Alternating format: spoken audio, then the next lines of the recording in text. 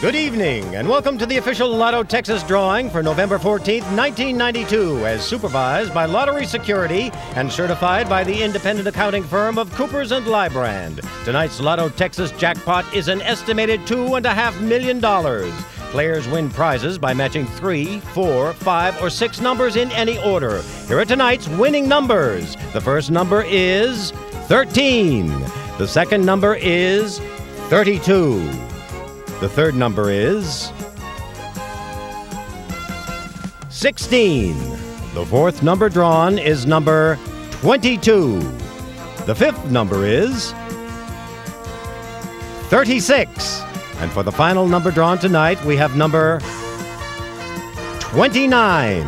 Again, those numbers are 13, 32, 16, 22, 36, 29.